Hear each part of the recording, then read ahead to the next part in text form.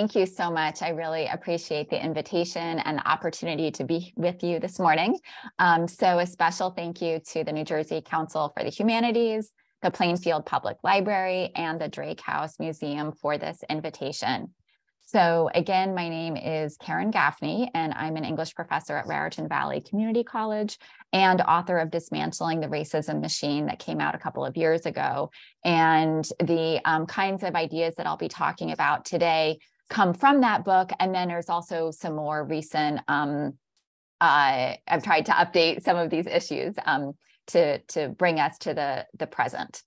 So without further ado, we're going to get started. And I will just mention that um, if you uh, want to ask a question, um, the Q&A feature is a great place to do that rather than the chat um, as was mentioned earlier. And I'm not going to stop along the way to answer questions. Instead, what I'd rather do is share the presentation. And then at the end is a great chance to um, both ask questions, but also participate in some discussion. I think it would be great to hear what people are thinking about these issues. Okay, so let's begin with just a very, very big picture um, understanding of the census. So the census began in 1790, and it's been conducted every 10 years since then. And something that does not get a lot of attention, but is extremely important, is that until 1960, people did not fill out their own census form. Instead, a census worker came to your door, and they were called enumerators, and they would come to your door and ask you the questions out loud and fill it out on your behalf. All right, so that's important to keep in mind. It's only starting in 1960 that um, individuals were actually able to fill out the form themselves. Something else that I want you to keep in mind that doesn't always get a lot of attention is that every single census we've ever had, and again, they began in 1790, so this goes back all the way to then, every single census we've had has had a question about a person's race. So I just want you to keep um, to keep that in mind. Okay, so a lot of people that I come across um, think of the census as as boring or as just sort of a bunch of questions that are just collecting data about population, and it doesn't really have that much meaning or significance. And I would like to um, pose a different way of thinking about that. Um, I would like to, to pose the idea that the census is not a neutral set of questions. It is anything but that. And instead, what I think is a helpful way to, um, to think about the census is that it is um, what I consider a decade by decade window into the social construction of race in the US. So at any moment, every 10 years, we can look at the census and start to get an understanding of how society at that moment in time was thinking about race and constructing race. And so ultimately, when we look at the history of the census, unfortunately, we will see many, many examples where the census is actually upholding white supremacy. And there are two ways that that happened. One was in the actual language of the questions and also the instructions. So I mentioned before that uh, census workers would come to your door and fill out the census on your behalf. Well, the census actually gave those workers a lot of instructions. Okay, those instructions were not necessarily shared with the person um, who was at the, you know, uh, who was who it was being filled out about, but these instructions are really important for the census worker, and the language of those instructions um, is something we need to pay attention to. So there's that aspect of the census. And then another aspect of the census that upholds white supremacy has been how have census results been used to support policies, American policies of white supremacy. So I would like to share with you a few brief historical examples. And as we do that, I'm going to share with you four different historical moments. And as I do that, I want you to think about how can acknowledging this history help us determine what to do about the census and its race question in the future? All right. So we're going to start in 1840. And what I'm sharing with you, I learned from Kenneth Prewitt's book called What is Your Race? Kenneth Prewitt was the um, director of the Census Bureau uh, in the late 90s. And he wrote this uh, excellent book, What is Your Race?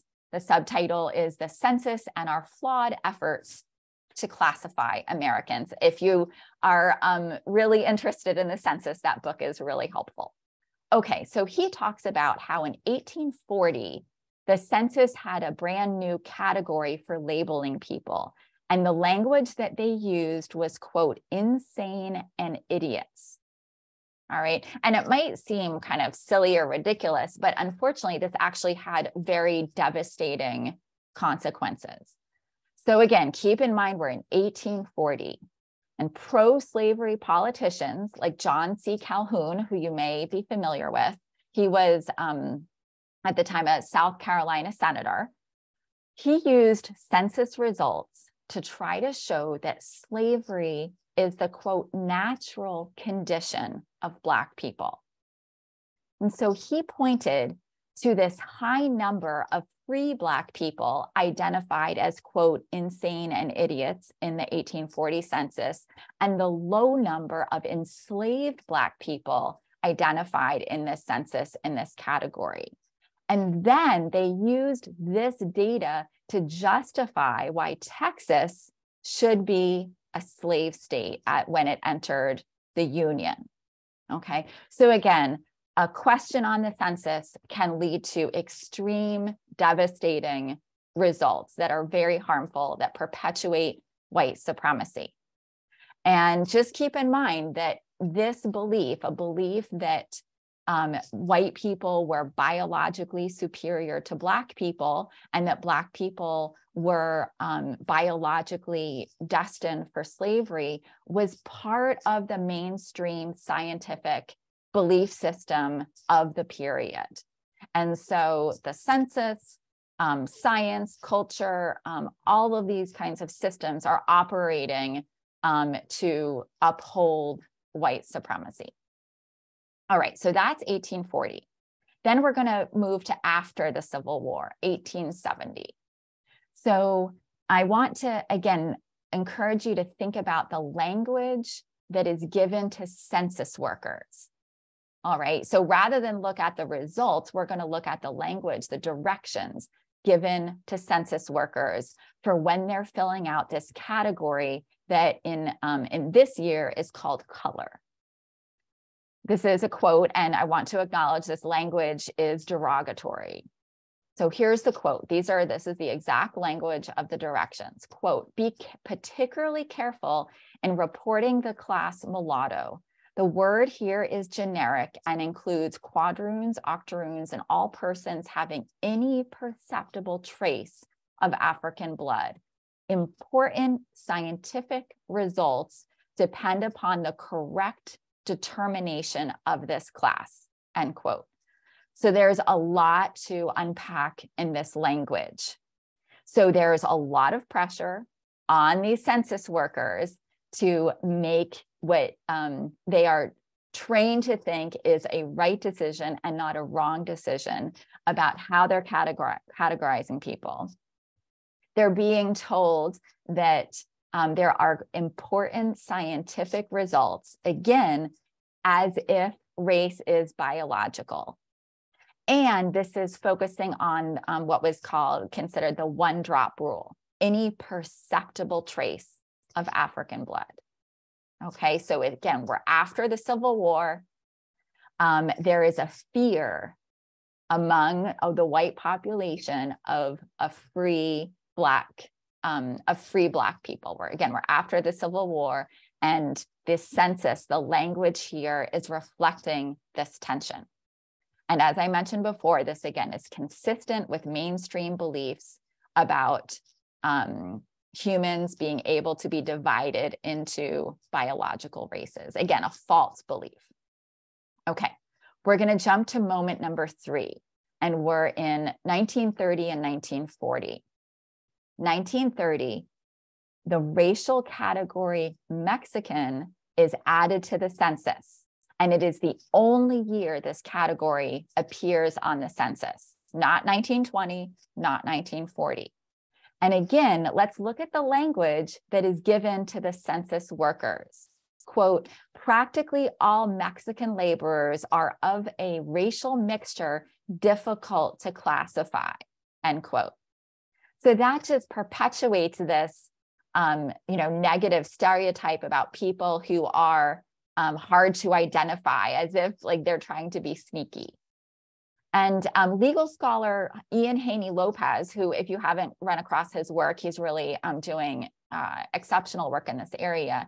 He explains that the census category that was added in 1930 of Mexican quote, helped legitimize federal and state expulsion campaigns, end quote, in the 1930s. So thousands and thousands of Mexican Americans, American citizens of Mexican descent, as well as Mexicans were um, deported. And the, um, as he points out, the data results from the census was used for this, again, this act of um, uh, this act, this deportation. Okay, again, causing great, great harm. Finally, um, in 1940, the category Mexican was removed from the racial category, and we have not seen it under race since then. The directions in 1940 were, quote, Mexicans are to be regarded as white unless definitely of Indian or other non white race. So when I mentioned race being socially constructed, here is a perfect example.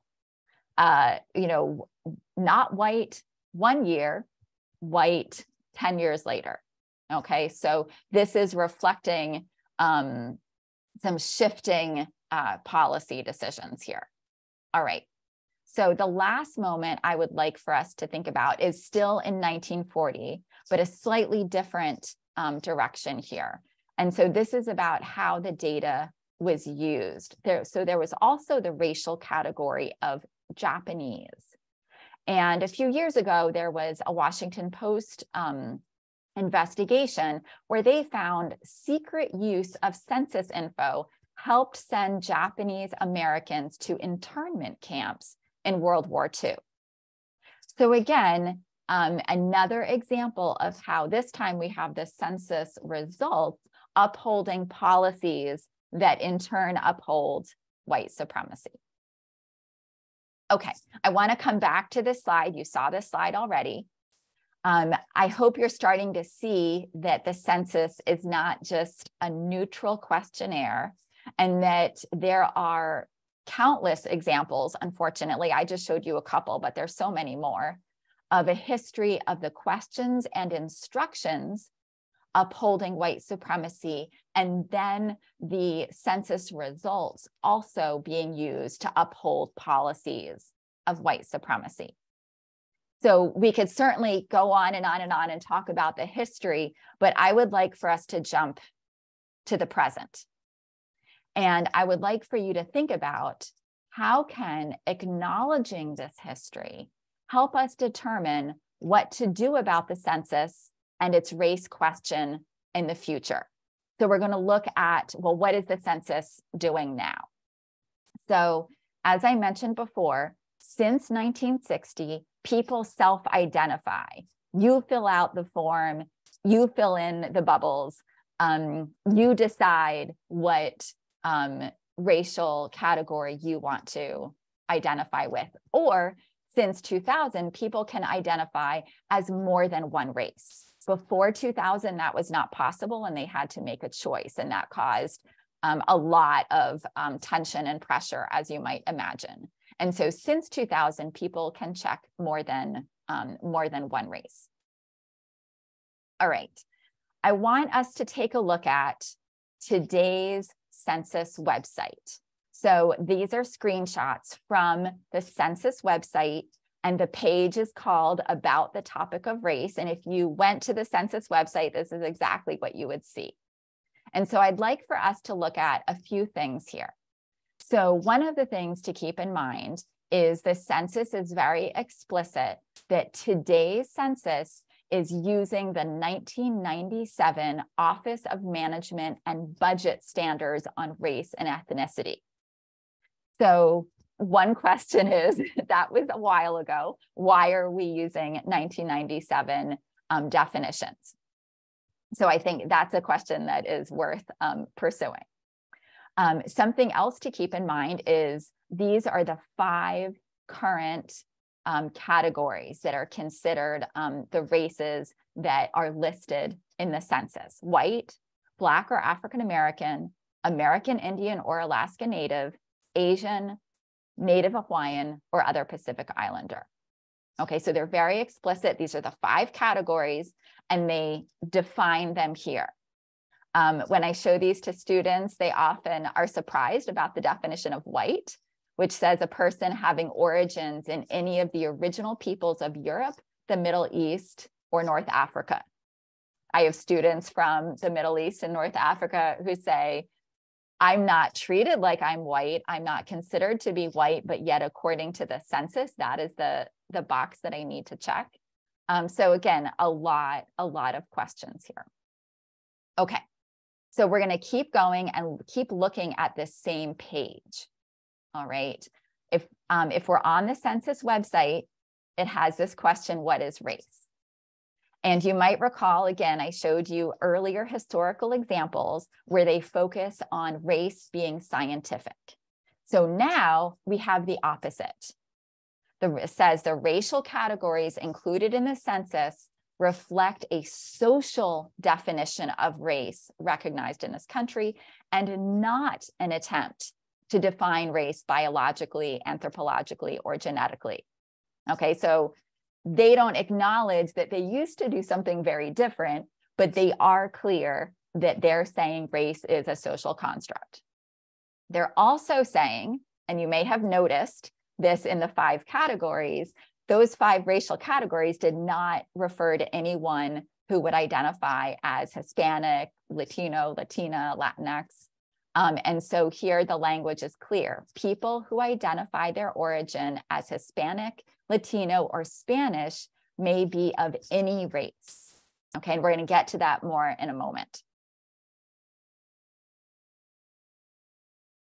Finally, the census website, again, if you are interested in actually looking at it, I have the URL right here.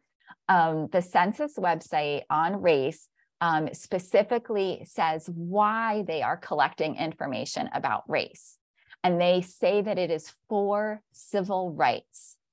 They say it's about redistricting principles. They also say that race data is used to promote equal employment opportunities and to assess racial disparities.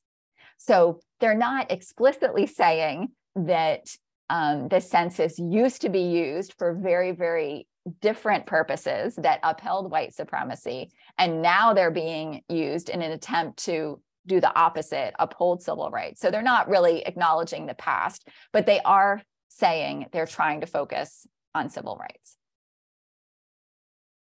Okay, so we're going to look at two questions question number eight and question number nine. So if you filled out the census in 2020. And if you were living in the US in 2020, you probably filled it out.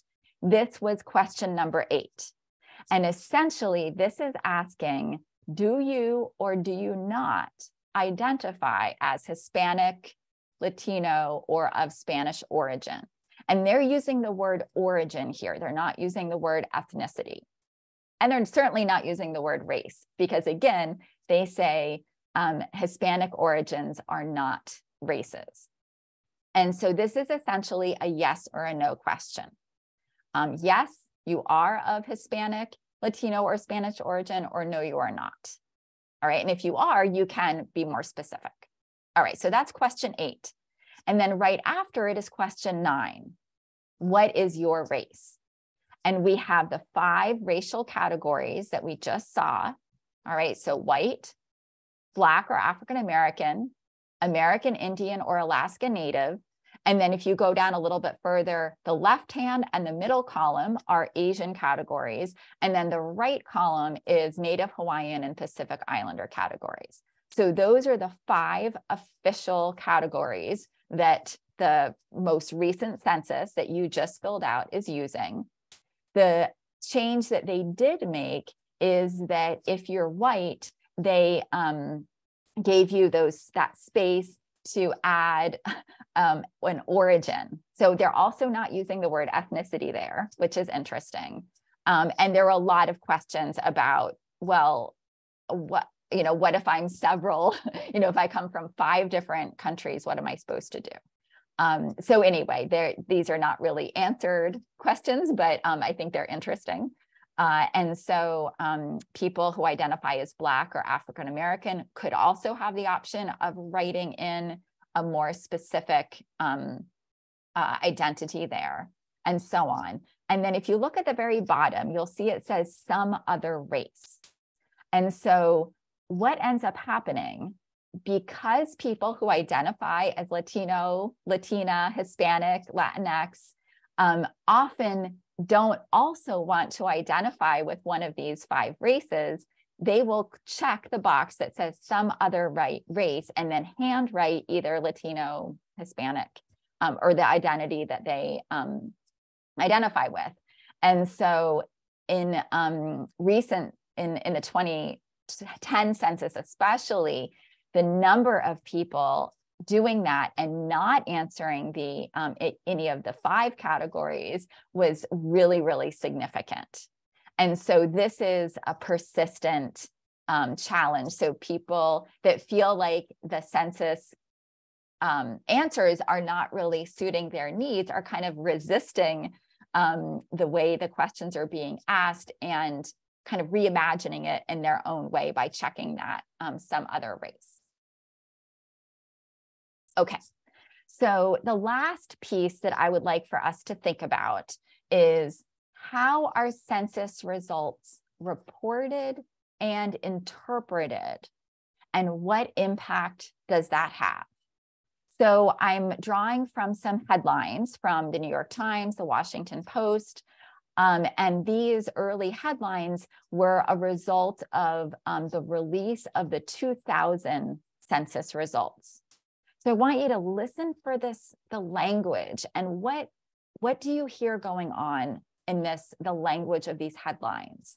New census shows Hispanics are even with Blacks in US. Hispanics draw even with Blacks in new census. Hispanics now largest minority, census shows. Hispanic population is rising swiftly, Census Bureau says.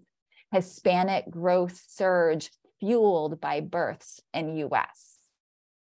So again, these are mainstream large newspaper headlines all before um, people were really, you know, pre-cell phone, before, well, pre-smartphone.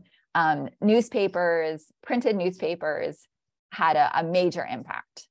And so really like thinking about this language, um, the first couple of headlines really focus on a sense of as if there's like this competition between um, the, the group they're identifying as Hispanic and the group they're identifying as Black. All right, who's winning this race? And then we have the winner, Hispanics, now largest minority, again, as if it is a competition. And then we also just have this um, language that we associate with fear rising swiftly, a surge. Um, and I want you to just keep, keep that in mind. And then finally, um, moving to uh, two other um, ways in which census results have been reported. In 2008, there was sort of a major announcement, and the New York Times used this language minorities in US set to become majority by 2042. And so this is the idea that white people will become a statistical minority in the future. 2042, 2045, the year keeps shifting. But this is um, something that the media really uh, publicized a lot and got and this got a lot of attention. And then most recently, after the 2020 census results were released in 2021, the Washington Post initially had one headline and got a lot of criticism for it and then revised it within a couple of hours to, to change the language. So first they said census data shows the number of white people in the US fell for first time since 1790. So as you know, the 1790 was the first census ever. And so this first headline definitely makes it sound like this is a problem, right? That this is something we should be scared of. They adjusted it to census data shows widening diversity, number of white people falls for first time. So maybe they improved it a little bit, but still this focus on um, white people becoming a statistical minority is something that is um, is really emphasized. And you know, you might think that's not that big of a deal, but unfortunately, this has had extremely um, horrific consequences. So, Kathleen Belew is a scholar who studies white supremacy. And she has been um, researching this topic, and she talks about how white supremacists react to those kinds of census results um, with what she calls a feeling of apocalyptic threat. And they, per, they interpret those census results as the annihilation of the white race. Likewise, Tucker Carlson, a very, very, very popular um, media personality on Fox News, talked about the the um, results of the 2020 census when they were announced in, in 2021 and he described what he was seeing on CNN. Um, he was talking about how the CNN commentators of color, um, and in his language, he says they were, quote, cheering the extinction of white people, end quote. Robert Pape is a political scientist. And after the January 6th insurrection, he studied the demographics of um, people that were arrested or charged with um, something related to the January 6th attack on the Capitol.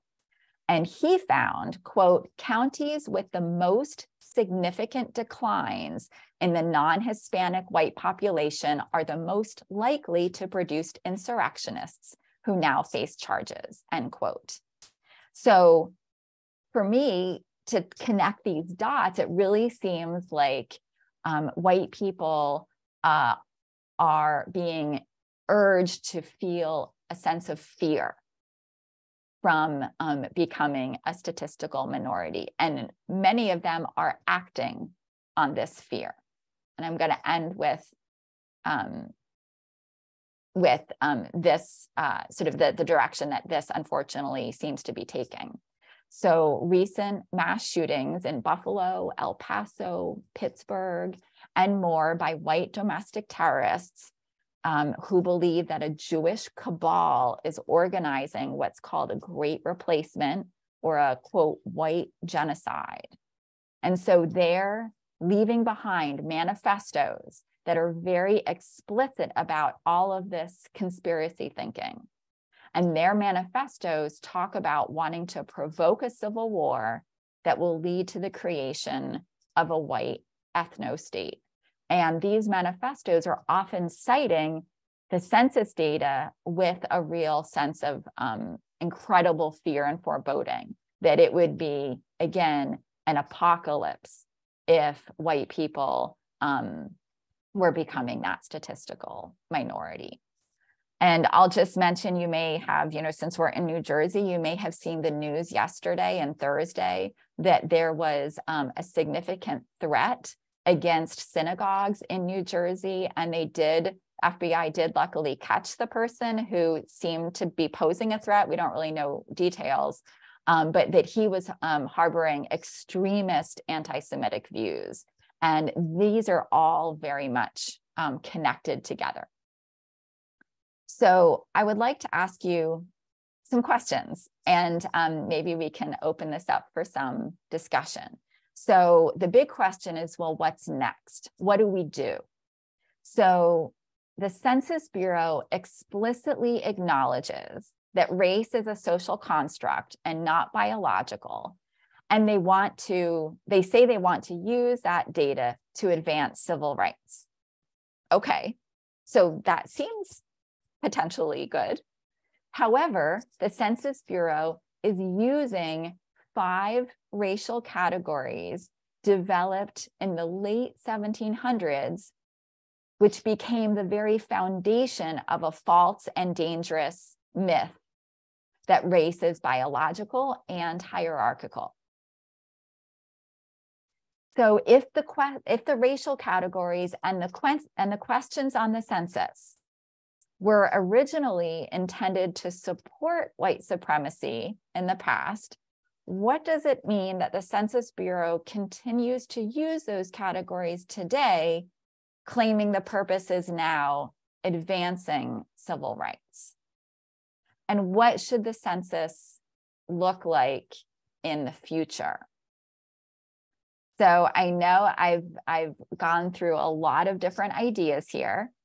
Um, I really am eager to hear what your thoughts are, what your questions are. Um, you certainly are more than welcome to reach out to me. I will be sharing these slides um, with the organizers and you can ask them um, to uh, get those slides sent to you.